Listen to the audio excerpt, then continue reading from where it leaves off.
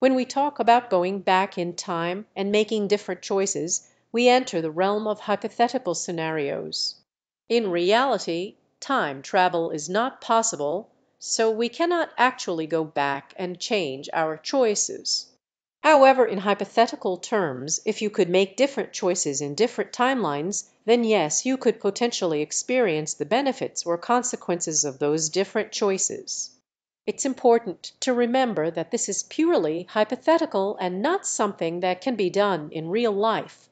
It's always best to make thoughtful decisions in the present, as we cannot change the past or predict the future.